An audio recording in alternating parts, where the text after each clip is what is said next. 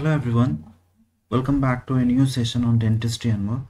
So today's uh, topic is uh, diet, nutrition and its association with oral health. So oral health, general health and uh, diet is always interconnected. So let's see how the diet influences oral health and dental caries and diet. In epidemiology of dental caries, we have seen uh, the connection between diet and dental caries. Uh, this chapter highlights the diet, nutrition, and its effect on the nutritional deficiency on the oral health and other factors. So the basic difference between diet and nutrition is diet is what you eat and drink, but nutrition is the internal processing. From that uh, foodstuffs, how much your body consumes. That is nutrition. It is the internal processing of foods and beverages such as ingestion, digestion, absorption and assimilation, distribution and elimination. So the whole process is nutrition. And diet is nothing but the foodstuffs you eat or drink. So this is a very basic chapter. This we have seen in our um, early years, like maybe first years and even our um, early school life also we have seen this the major nutrients, micronutrients, and trace elements, carbohydrate, proteins, fats, vitamins, minerals, and trace elements. So proteins we know it is very important. So I'm not going very detail about proteins because it is very simple uh, topic. There is not much explanation required. So it is required for body tissue, skin, tendons, cartilages. And it also forms hormones, enzymes. So we need to stress on the deficiency protein energy deficiency that is PEM Kwashiorkor marasmus so Kwashiorkor is nothing but uh, were taken from the Greek language and which means red boy due to the characteristic pigmentary changes. Later on the term was interpreted as Lepo's child. So it was first recognized by Prof. Cicely Williams in 1933 so it was disease of first child when the second was on the way, displacing the first child from breastfeeding. So marasmus is known as wasting. Uh, it is a Greek word, uh, marasmos, and it affects uh, children exhibiting uh, extreme wasting and old man appearance to jaws and skin and bones. So these type of appearance will be seen in children. So this is oral manifestation of protein deficiency. There will be bright reddening of tongue, loss of papillae, and edema of tongue, bilateral cheilosis, fissuring of lip, uh, loss of cecum, oral pigmentation, and dry mouth. So the basic thing is most of the oral manifestations are same for uh, most of the vitamin deficiency and there is slight variations in color appearance but uh, 60 to 70 percent is the same so delayed eruption deciduous teeth measure linear dysplasia. So lipids we know it is fats, basically saturated and unsaturated fats and fat soluble vitamins A, D, E, K which carries these lipids. So nutritional factors affecting the oral cavity. There should be optimal nutrition period for hard and soft tissue development. So malnutrition, overnutrition will create problems such as the tetracycline staining of teeth dental fluorosis, enamel defects in premature born uh, children, and fever-induced enamel hypoplasia. So nutrients deficiencies uh, or excess have been directly associated with conditions like uh, protein, calcium, phosphorus, vitamin C, A, D, iodine, and fluorine. So let's see the classification of vitamins, fat soluble A, D, E, K, and water soluble B complex and C. So b there are various uh, category b1 b2 b3 b6 b7 pantothenic acid uh, b9 b12 which is cyanocobalamin so vitamin a its sources we know egg meat and dairy products beta carotene. Also is a precursor of vitamin a so these are the deficiencies night blindness conjunctival xerosis without spots corneal xerosis and keratomalacia so oral health this is what we are uh, uh, emphasizing upon. Vitamin a helps in synthesis of proteoglycans fibronectin and type 1 procollagen. It is also helps in epithelial tissue differentiation acts on cells with high turnover rate and helps in formation of ameloblasts and aureoloblasts so what happens if there is a deficiency? It affects salivary gland, there will be decreased salivary flow, it causes increased caries, oral mucous membrane, there will be hyperkeratosis and gingival hypoplasia. In teeth, during pre-eruptive stage deficiency causes enamel hypoplasia and defective dentate formation. So normal teeth spacing and osteoblast function of alveolar bone also will be impaired in case of vitamin A deficiency. And in periodontium, there is tendency to periodontal pocket formation so as a result of this pocket formation, proliferation of basal cells of gingival epithelium and a decreased cellular infiltrate on the lamina propria. And there will be cleft lip and palate chances during early development of both uh, deficiency and high doses reported to induce cleft lip and palate. Vitamin D, we know it is known as sunshine vitamin. There are D1 to D5 category. D2, D3 are nutritional importance. So these are the require daily allowance upper level. So only the fat soluble vitamins have uh, upper level because it is getting stored not like uh, b and c which is water soluble. So vitamin d if deficiency causes enamel hypoplasia. There will be uncalcified dentine matrix. Physical roughness of enamel surfaces causes adherence of plaque and caries. So vitamin e it increases resistance to inflammatory mediated tissue destruction and which improves gingival health so in case of deficiency, there will be decreased inflammatory response and gingival health also will be impaired. So vitamin K, which is uh, helping for the coagulation, if deficiency is there, there will be uh, hemorrhage. Secondary deficiency also causes with antibiotics. Newborn infants receives a single dose of vitamin K at birth because of the sterile intestinal tract. So gingival bleeding and post-extraction hemorrhages are the problems associated with the vitamin K and which is also known as anti-caries agent because it has an inactivity of enzyme inhibiting in the carbohydrate degradation cycle. Vitamin A and vitamin E have no known effect on anti-caries activity. So let's move on to vitamin B that is a water soluble vitamin B1 we know thiamine so it is uh, all these structures. Deficiency causes beriberi wet beriberi dry beriberi and infantile beriberi. Wet means it has uh, cardiac manifestations. This is a cns manifestation and infantile beriberi. Because it is seen in infants born to mothers suffering from thiamine deficiency. So what are the dental considerations? There will be tongue changes in form of enlarged flabby red and edematous appearance with engorgement of Fungiform papillae, gingiva becomes inflamed and present with an old rose color.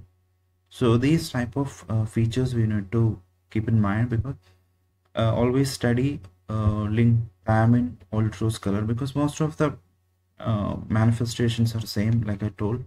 So the old rose seen in thiamine deficiency, herpetic like vesicles, palate, buccal mucosa and tongue. So vitamin B2 riboflavin it is the first B complex component to be isolated. And deficiency angular cheilitis pallor of lips and angle of mouth glossitis magenta color tongue causes. So this magenta color tongue keep in mind caused due to atrophy of papilla and increased vascularization seborrheic dermatitis and proliferation of bulbar conjunctival capillaries. Tongue changes there will be the tongue changes initial stages reddish appearance of tip and lateral margins of tongue with coarsely granular due to atrophy of filiform papillae and engorgement of fungiform papillae will happen. So in severe cases which leads to atrophy of all papillae causing tongue to appear very smooth and glazed.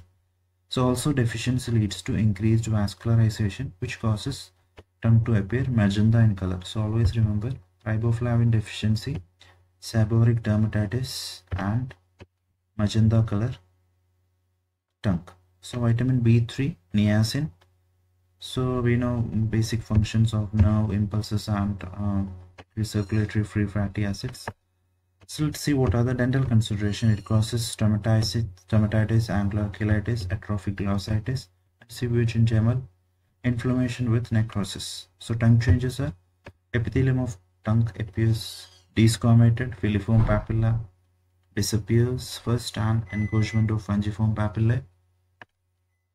So early stages same as uh, other deficiency tip and lateral borders are involved. It becomes swollen and advanced cases there will be severe reddening and becomes all the papilla losing. Pantothenic acid derived from Greek word pantos means everywhere. So formerly known as anti-dermatitis factor which is a coenzyme A metabolic role is coenzyme A.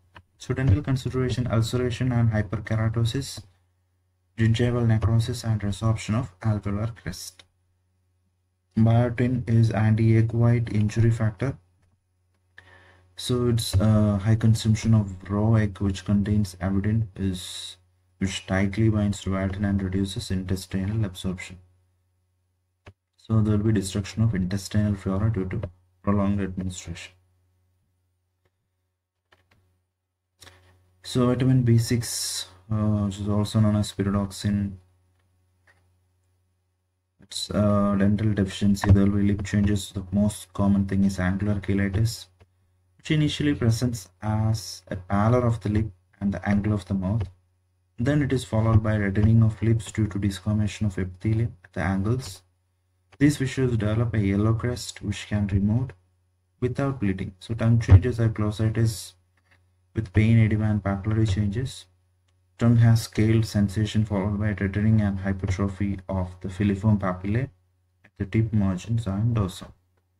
Folic acid which means leaf of vegetable what happens is deficiency causes uh, causes of folate deficiency there will be defective absorption hemolytic anemia dietary deficiency so folate deficiency uh, causes uh, these problems that is macrocytic anemia there will be increased risk of atherosclerosis hyperchromos cystinuria.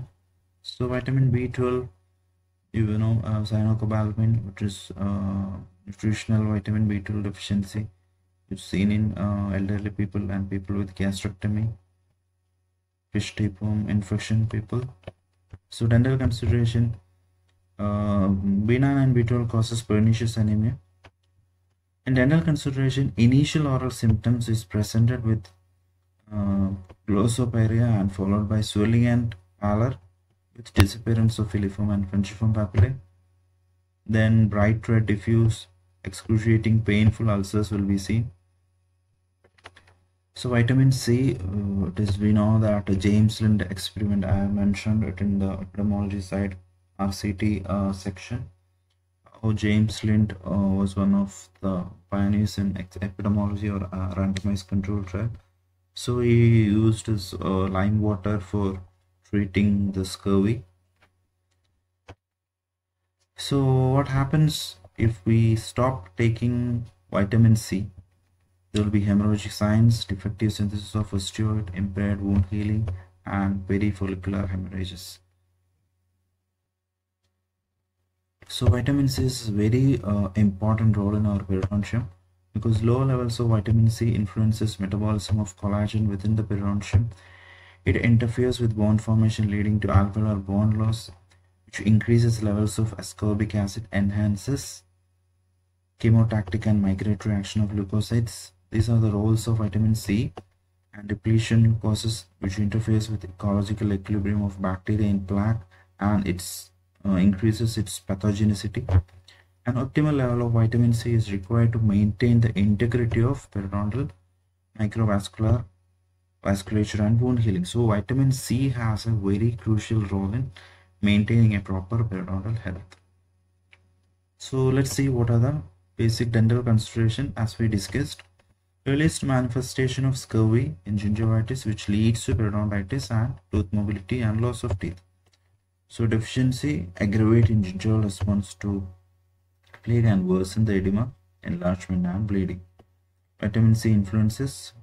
We have seen in the previous slide collagen uh, metabolism of periodontium and affecting the ability of tissues to regenerate and repair itself. So scurvy is a very um, severe disease causing the gums, which leads to changes in the teeth in form of hypoplastic, leads to atrophy of ameloblast and odontoblast, and uh, formed which lacks parallel arrangement of dentine tubules. So this is affecting both soft tissues and hard tissues. So let's see what are the minerals affected, calcium, vitamin D and phosphorus, which are uh, essential for proper development and maintenance of mineralized tissues, especially teeth and alveoli. So deficiency of these nutrients is a critical phase of tooth development causing hypomineralization of teeth and it might lead to delayed eruption. Iron deficiency anemia which manifests in the oral cavity as pallor oral tissues which we have seen with uh, pernicious anemia tongue will be shiny and blunted filiform papillae. So mineralized tissues are less clear uh, than deficiency associated effect and serves basically as a cofactor with ascorbic acid. So it has a role in vitamin C and its synthesis. So zinc regulates the function of inflammation by inhibiting release of lysosomal enzymes. Zinc deficiency can inhibit collagen formation and reduce cell-mediated immunity. This is important because sometimes question might come as trace elements and oral health. So zinc deficiency can also result in delayed wound healing, defective keratinization, and epithelial thickening and atrophy of oral mucosa. Also essential for taste and odor sensitivity. So diet and enamel mineralization.